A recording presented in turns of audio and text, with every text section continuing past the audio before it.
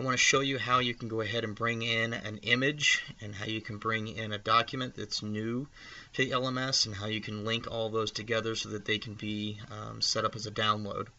So we already have the submission form. What we want to do is create a verification form. If you look at all the files that you were given, there is one called Automation Control In-Class Verification that was missed being put into the LMS. If you look at that actual document itself, all it is is the form the participants are supposed to go through to document um, the step-by-step -step activities that they're supposed to do for the test bed. So I want to bring that activity into the LMS and then I want to get it as a download that's easily found by the participants so they can download it. So first thing I want to do is I want to bring in an image that I can use um, for them to click on and then I want to make sure that I bring in the document as well. So I'll go to my files I'll go ahead and say upload. There's a bunch of different ways to do it. I could have also done it on that other page, but I'm going to go ahead and upload the verification form, but I want to make sure that I'm bringing it into the right folder. So if I have this folder open, when I say upload, then it will automatically upload to that folder and I won't have to move it. Okay, it says I already have it in there. I'm just going to go ahead and say replace. So I'll scroll down and make sure that I have that image. So I now have one right underneath there that said submission form button. I now have one that says verification form. Okay, I also want to bring in the actual activity itself. So I click on that folder and I say upload. I just happen to have it sitting on my desktop. It's the updated 7.7 2016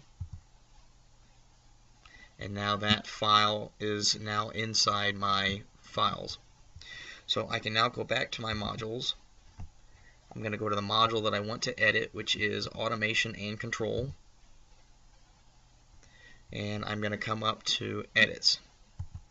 Once I select edit, it will step into um, a quick editor to be able to edit the web page that's here. Um, I'm going to go down to where it says submission form and I'm going to space over a couple of times and I'm going to put my other image right here. I can put it below or I can put whatever I want it to be.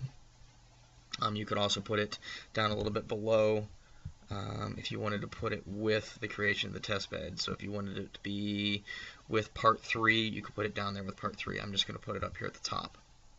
So over here it says insert content into the page. So I'm going to go to images and this is another location where you could have said upload new image. I'm going to scroll down to where it is. So here is my verification form. Um, it comes in just a little bit large compared to theirs, uh, the existing ones. So I'm going to scale that down just a little bit until they look more appropriate in size to each other. So just a little bit more.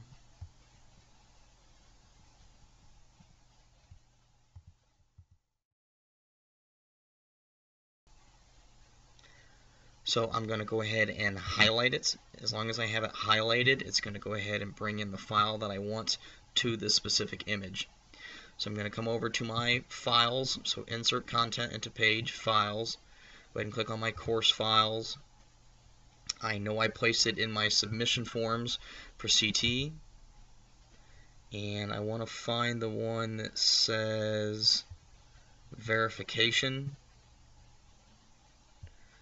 Automation Control in-class verification updated 7-7-2016. That's the one I just brought in. And once I click it, you should see this turn a brighter blue. It now has a link attached to it. And I can also see up here that it now has a link attached to that specific file. So biggest thing is make sure you come down here to the bottom and make sure you select save. If you don't select save, it won't record that into the actual web page itself. So when I hit save, it should now show that I have my verification form. If I highlight it or move my mouse over to it, it changes in a little hand, and I want to test it to make sure that it's going to work. So I click on it, it should bring that down to me, and as I open it, it should open up as Assignment 3 Automation and Control.